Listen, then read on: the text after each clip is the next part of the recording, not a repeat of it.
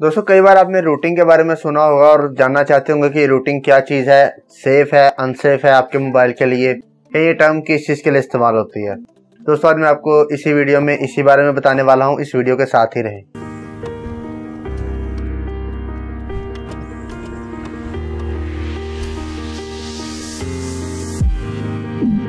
दोस्तों, मेरा नाम वकिया दर मैं आपको टेक्निकल प्रोफेसर में खुश आमदीद कहता हूँ। दोस्तों वीडियो के शुरू करने से पहले आपसे एक छोटी सी रिक्वेस्ट है कि सबसे पहले जाके आप मेरे चैनल को सब्सक्राइब कर लें नीचे से, ताकि फ्यूचर में आने वाली इस तरह की मजीद वीडियोज़ भी आपको मिलें और आप उनसे फ़ायदा उठाते रहें। उसके अलावा आपको एक साथ सब्सक्राइब करने के बाद एक बेल आइकन भी नज़र आएगा। आप उसे भी प्रेस कर लें, उससे आपको नोटिफिकेशन भी मिल जाएँगे जब मैं वीडियो अपलोड करूँगा। तो दोस्तों, अभी फ़िलहाल हम बात करने जा रहे हैं रूटिंग के ऊपर। सबसे पहले मैं आपको बता दूँ कि मैं रूटिंग के बारे में आपको तीन, यानी कि तीन तरीके से समझाऊँगा। पहले उसके तरीके में मैं आपको लाऊँगा कि सबसे पहले मैं एडवांटेजेस बताऊँगा आपको कि रूटिंग के क्या क्या एडवांटेजेस आपको मिलेंगे। उसके बाद मैं आपको बताऊँगा कि आपको क्या डिसएडवांटेज होंगे, क्योंकि जहाँ पे एडवांटेज है, वहाँ पे डिसएडवांटेज भी है।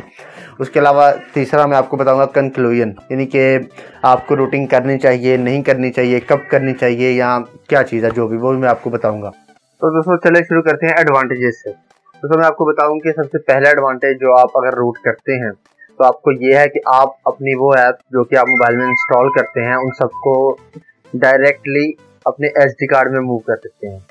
यानी कि अगर आप गूगल प्ले स्टोर से कोई ऐप डाउनलोड करते हैं तो वो ऐप सबसे पहले जाएगी आपके ज़्यादातर इंटरनल स्टोरेज में जाती है, ठीक है? उसके बाद वो जाती है आपके एसडी कार्ड में।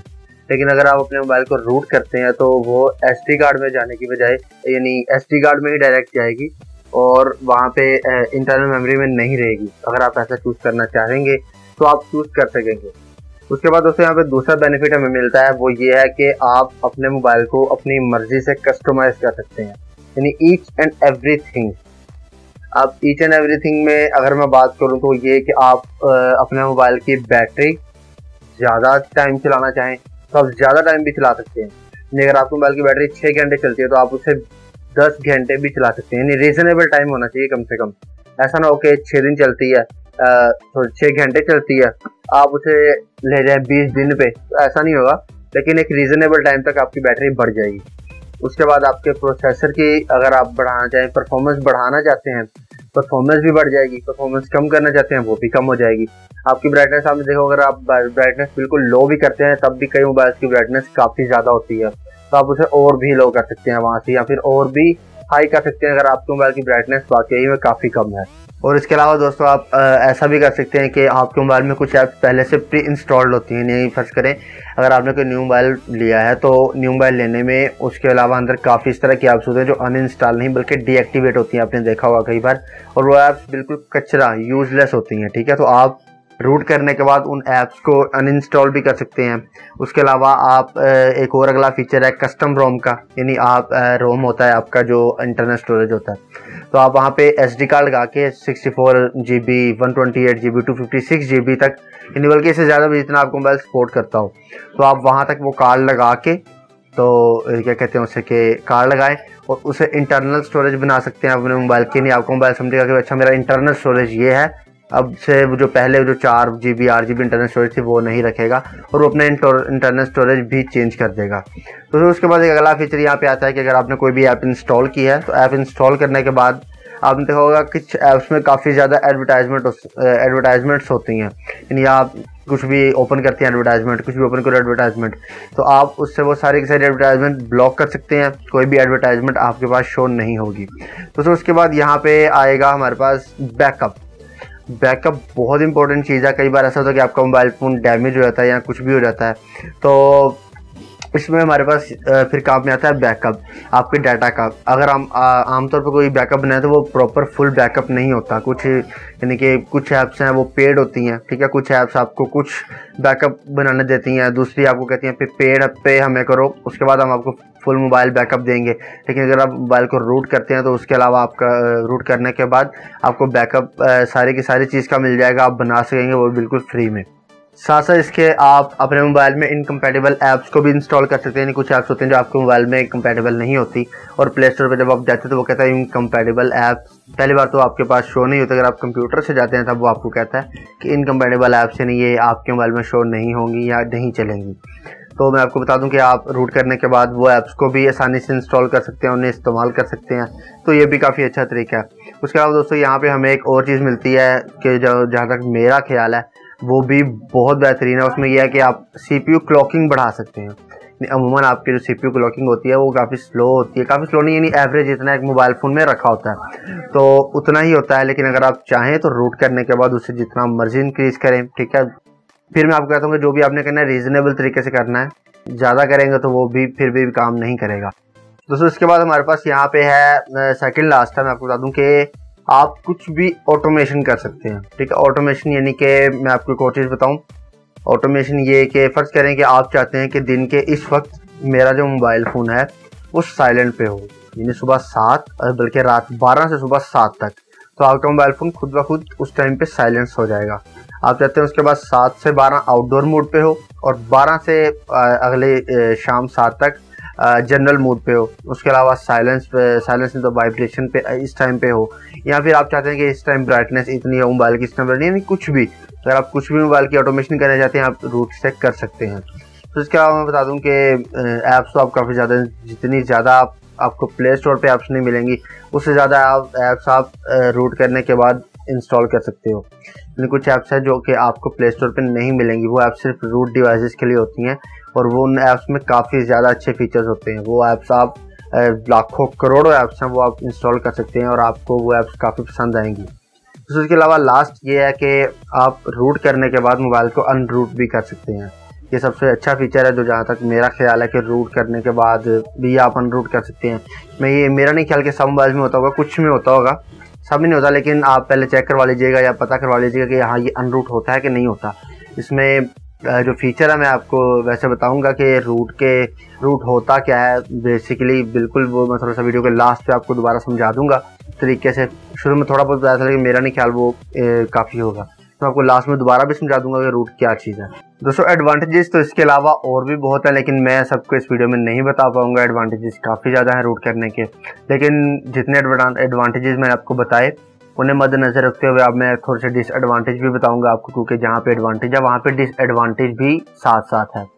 तो उसमें सबसे पहला जो डिसएडवांटेज है, वो ये कि जब आप अपने मोबाइल फ़ोन को रूट करते हैं तो companies mobile company Samsung Nokia जो भी है, वो अपनी गारंटी वापस ले लेती हैं। यानी अगर आपके मोबाइल में वन ईयर वारंटी है और आप मोबाइल को रूट करते हैं मोबाइल लाने के छः महीने बाद, आठ महीने बाद, दस महीने बाद, दो महीने बाद, जब भी तो जैसे ही आप मोबाइल फ़ोन रूट करेंगे तो आपकी वारंटी चली जाएगी। वारंटी आपकी बिल्कुल ख़त्म हो जाएगी और आप आप उस वारंटी को क्लेम नहीं कर पाएँगे अगर आपको मोबाइल फ़ोन में कोई भी मसला हुआ। तो इसके बाद यहाँ पे एक और चीज़ है, हमारे पास एक और डिसएडवांटेज है कि अगर आपको रूट करना नहीं आता और आप रूट करना चाह रहे हैं, यानी कि आपको सही तरह प्रॉपर नहीं पता कि किस तरह रूट करना है, लेकिन आपने फिर भी कोशिश की तो आपका मोबाइल बिल्कुल डेड भी हो सकता है, यानी कि आपका मोबाइल बिल्कुल डिब्बा। हाँ यानी कुछ भी नहीं बचेगा, सिर्फ़ डिब्बा बन जाएगा उसे आप जहाँ मर्ज़ी रखें, जो मर्ज़ी करें उसके साथ। यानी मोबाइल चलने लायक नहीं रहेगा, बिल्कुल डेड हो जाएगा। हाँ उसको भी सही करने के तरीके हैं, लेकिन ऐसे काम में पढ़ना ही क्यों? अगर आपने रूट करना है तो सही तरीके से रूट करें, उन्हें पहले प्रॉपर देखें रिसर्च करें। कोई स्टेप मिस ना करें। अगर आप रूट कर रहे हैं तो स्टेप कोई मिस हो गया तो आपका मोबाइल अच्छी तरह रूट नहीं होगा और डेड भी हो सकता है। ठीक है, इसलिए जब भी रूट करें प्रॉपर यहाँ पे रिसर्च करें। उसके बाद मोबाइल की रूटिंग स्टार्ट करें। दोस्तों इसके अलावा जो ऑफिशियली आपको मोबाइल अपडेट्स मिलती हैं एंड्रॉइड की अपडेट्स मिलती हैं, वो आपको अपडेट्स नहीं मिला करेंगी रूट करने के बाद हाँ आप उन अपडेट्स को दोबारा मैनुअली कहीं और से डाउनलोड करके इंस्टॉल कर सकते हैं, लेकिन उसमें वो बात नहीं है जो कि ऑटोमेटिकली आपको जैसी अपडेट आए तो वो मिल जाए तो वो चीज़ नहीं रहती उसमें। उसके बाद दोस्तों, यहाँ पे एक और, यहाँ पे हमारे पास डिसएडवांटेज है, वो ये है कि लेस सिक्योरिटी तो लेस सिक्योरिटी की बात करें तो मैं जो एक्सप्लेन करना है रूट का, उसमें ये भी चीज़ है कि रूटिंग में अगर आप किसी मोबाइल को रूट करते हैं तो उसका मतलब ये होता है कि आप उसके जो भी सॉफ्टवेयर के ओरिजिनल सॉफ्टवेयर के बैरियर्स हैं, उन्हें हटा रहे हैं। यानी ओरिजिनल सॉफ्टवेयर की कुछ सिक्योरिटी होती है, ठीक है? आप उस सिक्योरिटी को हटा के मोबाइल के अंदर जा रहे हैं, ठीक है? मोबाइल के सॉफ्टवेयर को आप ख़त्म करके अपना सॉफ्टवेयर बना रहे हैं, ठीक है? जो ऑफिशियली सॉफ्टवेयर बनाया गया मोबाइल का आप उसे ख़त्म कर रहे हैं ऑपरेटिंग सिस्टम उसे ख़त्म कर रहे हैं, और फिर आप अपना यानी कि सारा कस्टमाइज़ कर रहे हैं तो उसमें यह है कि जो अगर आप पहले जो बना होता है, जो पहले से डिज़ाइंड होता है, वो सिस्टम काफ़ी अच्छा होता है, ठीक है? वो उसकी सिक्योरिटी काफ़ी बेहतर होती है। लेकिन जैसे ही आप उसको रूट करते हैं तो आपके मोबाइल की सिक्योरिटी बहुत कम हो जाती है, बहुत रिस्क में होते हैं आप, और आपकी सिक्योरिटी इंतहाई ख़त्म ही। नहीं आप ज़्यादा कितना मैनेज कर लेंगे, एंटीवायरस कर लेंगे और कुछ नहीं कर पाएँगे। लेकिन जो ऑफिशियली आपका सॉफ्टवेयर बना होता है, आपके मोबाइल का सॉफ्टवेयर बना होता है, वो काफ़ी अच्छा बना होता है। तो ये डिसएडवांटेज है कि अगर आप रूट करते हैं तो वो सिक्योरिटी लेस हो जाती है आपकी।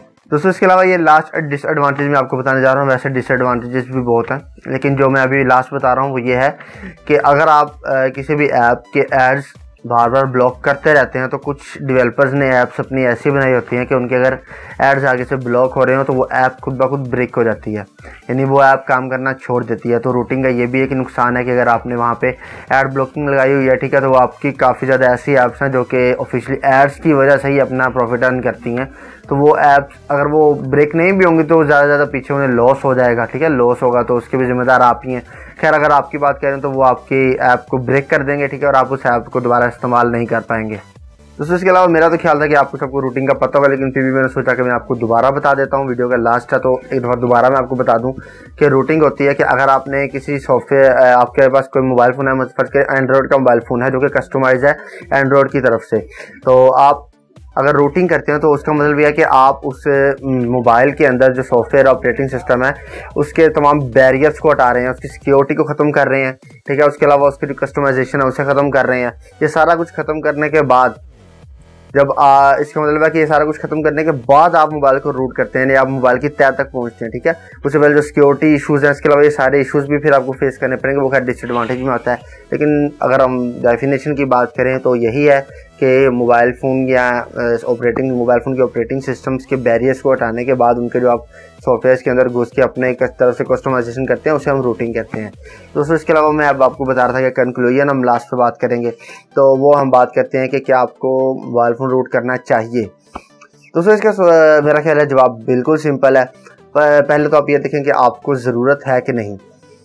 आ, मैं आपको बता दूँ कि काफ़ी पहले बहुत सी ऐसी ऐप्स होती थी जो रूट के बगैर नहीं चलती थी लेकिन आज गूगल प्ले स्टोर पर वो ऐप्स अवेलेबल हैं। आप उसे रूट के बगैर भी इंस्टॉल कर सकते हैं। अगर आपके कोई एक तरह का काम है तो आप पहले उसके मतलब ऐप ढूंढ लें।